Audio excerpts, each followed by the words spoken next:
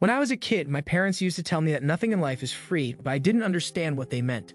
All the food I ate was free, and I didn't have to pay for the cool new clothes I got for school, and I didn't have to pay for Santa to bring me presents on Christmas. However, all of these great things came at the expense of someone else, which I learned as I got older. Overlook, and if you're new to the channel, hit the subscribe button below to get more life hacks. Content changed my parents always complained about money when I was a kid, my family wasn't poor, but we also didn't have three Lamborghinis in the driveway. This means that my parents still had to live a financially responsible life for us to be able to get by. I'll be the first to admit that my parents did a great job of protecting me from the harsh realities of life. As a grub, I never really understood why money was such a big deal for most people. That all changed when I got a little older and started making money on my own. I still remember getting my first paycheck. It was both the most exciting and disappointing moment of my life, which is funny because I felt the same way about another of my life's firsts when I opened my first bank account. These are some of the most common ways we spend money, so they are likely to be the first things that come to mind when we think about spending. However, there are two other costs that come with spending that are just as important but are often overlooked.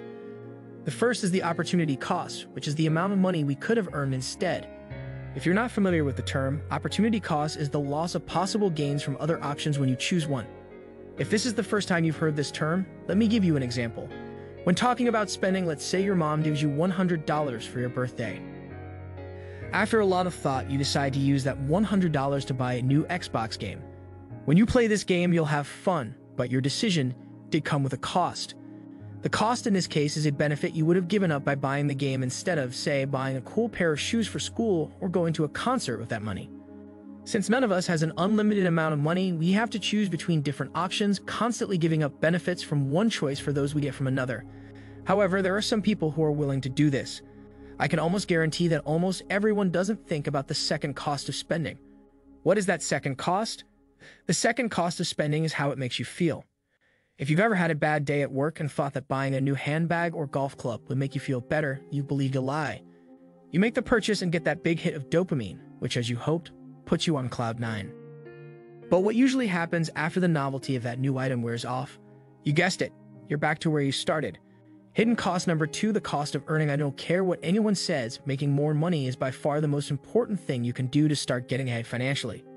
I know some people will argue with me and saying that without saving or investing, you'll never get ahead, but without earning, you can't save or invest in the first place. Plus, there's something incredibly satisfying about making money. It's not satisfying because you're getting rich, but because you're doing something you enjoy. Most of us spend 8, 10, 12, or even more hours at work every day, and we're hopefully getting paid for it. However, the time we spend at work takes away from a lot of other things we could be doing with our time.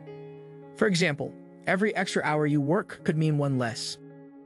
Hour playing that new video game you've been dying to play, or one less hour spending time with your family. Keep in mind that these other ways to spend your time don't have to be other ways to make money.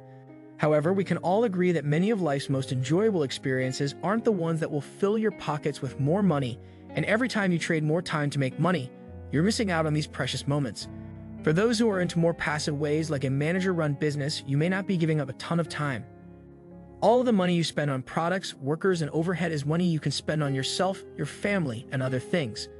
This means that no matter how you make more money, there will be a cost that may or may not be worth the trade-off, depending on where your financial priorities lie.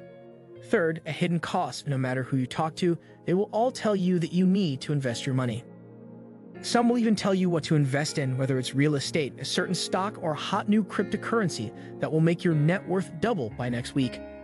Most people are happy to share their investing advice with you, but they rarely talk about the costs of investing. The second cost you pay when you invest is the emotional cost. If you've ever put money into stocks that are close to being attacked, you've paid this cost. If you've ever checked the stock market on a bad day, you know how emotional a single stock investment can be. This emotional word, trouble, will make you feel uneasy, but it can also make you panic or act out of greed, which is a cost that will never work in your favor. We've got your favorite new financial term, opportunity cost. If you invest in one asset, you can't invest in another. For example, if you buy $10,000 worth of Bitcoin, you can't buy $10,000 worth of Ethereum. This could be a good or bad decision depending on how things turn out, but it's a cost you'll have to pay as long as you invest.